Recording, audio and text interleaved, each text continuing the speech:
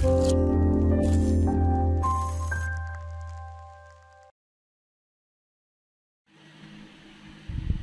assalamualaikum warahmatullahi wabarakatuh.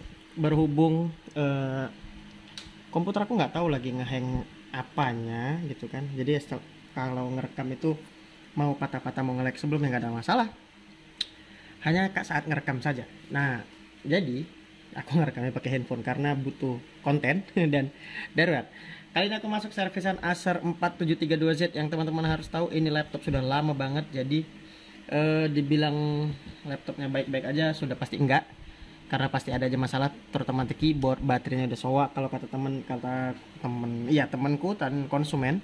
Nah jadi butuh charger terus dan keyboardnya aku sempat coba dan dia bunyi-bunyi titit titit udah pasti keyboard biasanya tapi kadang-kadang aja karena ya udah tua wajar. Nah speknya ya biasa aja. Dia pakai prosesor Intel Pentium T4500 yang di mana itu dual core lalu RAM-nya 1 GB jadi keluhan konsumennya ini adalah laptopnya lambat dan eh gitulah laptopnya lambat dan coba dicek dulu bang gitu kan. Oke kita coba cek dan Bismillah. Kita akan lihat laptopnya hidup. Dan yang paling unik ini adalah sistem operasinya. Teman-teman harus lihat sistem operasi ini unik banget Windows XP yang di mana udah nggak ada lagi setahu ke orang yang pakai Windows XP ya paling nggak di sekitarku lah ya. Mungkin di tempat lain masih ada. Tapi ternyata di sekitarku masih ada yang pakai Windows XP sampai saat ini.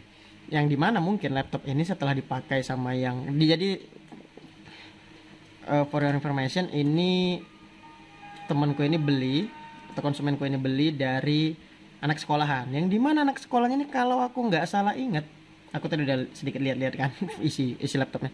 Yang di mana dia teman sekolahku dulu. Ya satu satu sekolah tapi nggak gitu kenal deket juga nggak. Kenal juga nggak apalagi deket ya. Jadi eh, aku lihat oh laptop ini. Jadi mungkin setelah selesai kuliah dia maksa pakai ini untuk menyelesaikan skripsinya. Karena ada bahan skripsi kayaknya kayaknya ya eh yang pasti ini bahan yang pasti di sini ada foto-foto purna siswa segala macam. Pada saat SMA SMK tapi tepatnya karena aku SMK pada masa-masa SMK jadi ya wajar aja laptop ini masih pakai Windows XP karena pada masa itu Windows XP juga masih sangat berjaya dan orang belum sibuk ganti ke Windows 7 paling tidak gitu Oke, ini ini terakhir eh, makalah. Oke, terakhir SMK zaman SMK dia nggak pakai untuk di kuliah. Oke, aku lihat dulu.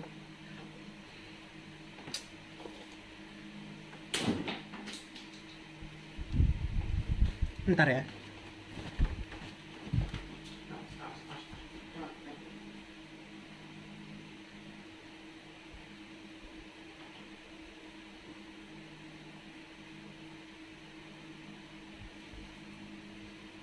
Ah, sorry ada sedikit gangguan tadi. Oke. Jadi kita akan langsung aja kayaknya ini laptop akan aku bantu upgrade untuk di sisi RAM-nya. Ini 1 GB, nanti kita akan tambah jadi 2 GB. Terus datanya aku pindahin nggak ya? Eh, nggak usah deh kayaknya. Toh, kayaknya dia nggak butuh juga makanya udah dijualnya sampai datanya cuma masih ada. Oke. Laptop ini pertama akan aku matikan lagi. Gila teman-teman tadi perhatikan kan dengar suara khasnya dari Windows XP itu kalau waktu hidup. Ini waktu matinya. Khas banget kan teman-teman suara matinya Windows XP itu. Lalu kita akan coba eh, eh, oke oke. Laptopnya udah mati, kita akan langsung aja bongkar tutup casing bawahnya. Aku ambil dulu baut. Eh oh baut obeng. Set. Oh wow yang aku impress. Laptop ini belum pernah dibongkar ternyata teman-teman. Teman-teman bisa lihat nih. Tuh. Segelnya masih terpasang rapi. Gokilin laptop. Oke aku akan oke akan buka. Jadi ini bisa dibilang kita buka perawan laptop ini karena belum ada yang pernah ngebuka ini laptop. Gokil.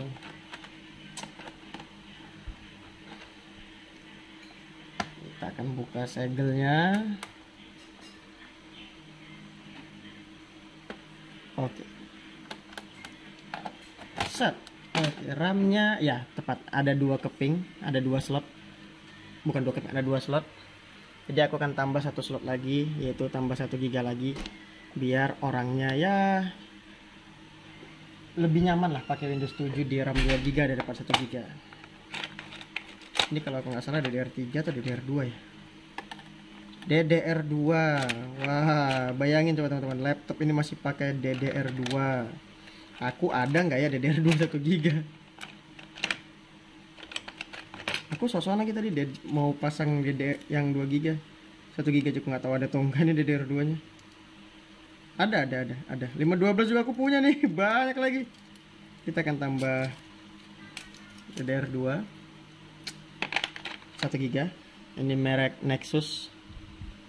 Ya 1 GB DDR2 semoga masih bagus ya RAM-nya ini. Karena nyari RAM DDR2 ini susah banget sekarang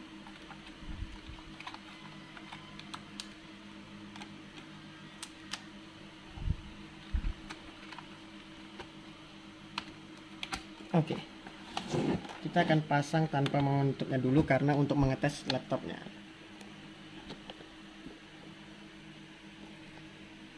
Susah memang ya pakai kamera handphone ya. Susah uh, untuk menyesuaikan posisinya. Kalau aku nggak bolak-balik sebenarnya nggak ada masalah ya.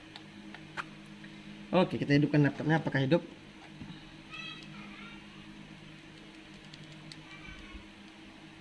Nggak tampil ya. Berarti RAM-nya sebenarnya ada masalah mungkin kita perlu kita uh, oke. Okay. perlu pakai ini. Penghapus.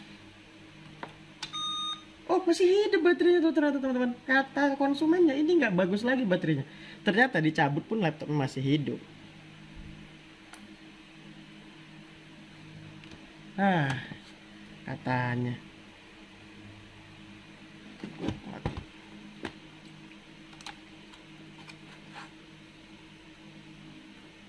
jadi ini sedikit tips juga. Jadi kalau laptop teman-teman nggak hidup nggak nampil waktu dihidupin teman-teman bisa ambil penghapus adiknya atau beli penghapus kalau nggak punya sama sekali di rumah. Teman-teman bisa coba di setik dulu yang kuningannya. Dan baterainya masih bagus sih masih hidupnya tanpa charger. Eits. kita masuk dulu. Dan RAM-nya udah 2 GB kelihatan kan dari sini?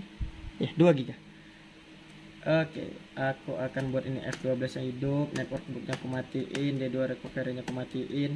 Ini akan aku buat ACI, ACI enggak ya, ACI aja. Oke. Udah selesai ngupgrade RAM-nya? Udah dong. Kita tinggal pasang aja lagi belakang. Aku mau lihat baterainya ini. Wah, gila. Masih sehat loh baterainya. Oh ya buat teman-teman yang mau tahu cara ngecek baterai laptop, teman-teman bisa singgah di videoku yang mana ya. Nanti aku sediain di mana di bawah atau di deskripsi atau di mana lah. Nanti aku sediain kalau aku ingat. Kadang kan aku ada ngedit ini nggak aku apa-apain, hanya aku masukin tulisanku terus aku cemplung-cemplungin aja.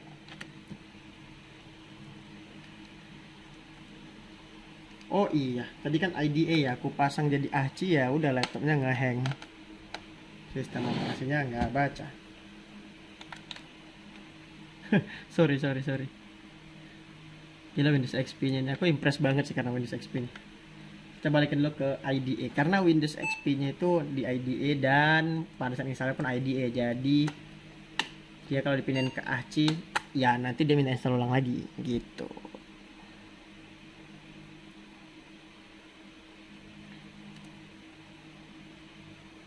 Oke, okay, dia masuk. Aku cas aja bentar ya. Gokil aku masih ngasih kagum banget masih ada laptop orang yang pakai Windows XP ini keren banget sumpah parah. Sayang loh mau nginstal ulangnya tapi ya mau gimana lagi kan ada aplikasi yang nggak memang udah nggak bisa lagi di Windows XP dia supportnya bahkan minimal Windows 7 atau ada yang minimal support Windows 10 parah sih. Oke, kita lihat dulu RAM-nya untuk proses install ulang nanti aku akan bedain videonya. Ini hanya akan proses upgrade RAM di Acer 4732Z nya aja. Oke. Okay.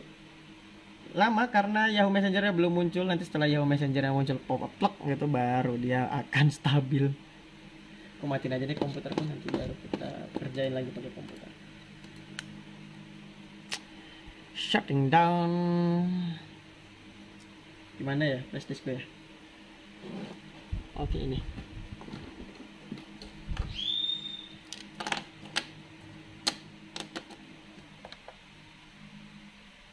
Oke, kayaknya udah mau muncul nih.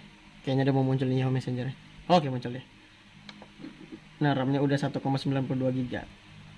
Oke. Gila lihat ini komputer coba. Oke, aku coba dulu buka lagi. Windows XP versi 2002 Service Pack 3. Gila, gila. Aduh.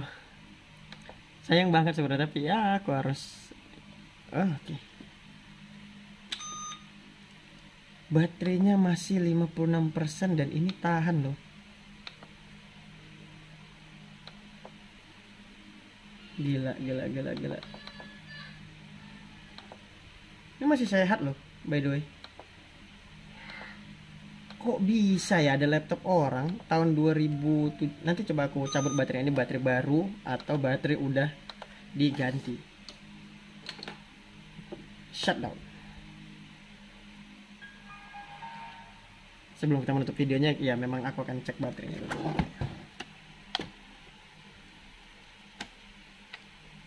yang jelas ini laptop masih perawan ting ting tadi aku yang buka perawannya dan uh, ini kayaknya baterai baru. Uh, ya ya ini baterai baru. Jadi orangnya baru ganti baterai juga sebenarnya untuk laptop ini uh, ya tentu mungkin ya mungkin karena mau dijualnya jadi dia gantilah baterainya gitu. Oke, sekian dulu dan terima kasih teman-teman telah menyaksikan video ini dan aku akan lanjut ke video install ulangnya di mana itu ada akan menjadi tutorial install ulang Windows 7 kayaknya pertama aku nggak ya? Nggak aku pernah install Windows 7 tapi di VirtualBox kalau nggak salah. Jadi kali ini aku akan langsung di real life kayaknya baru ini deh untuk di bukan real life real laptop. Ya VirtualBox juga real life cuman laptopnya bukan uh, langsung gitu nggak langsung ke laptop atau nggak langsung ke harddisknya di virtual. Oke okay? tanpa banyak basa-basi assalamualaikum warahmatullahi wabarakatuh. Sampai jumpa di video berikutnya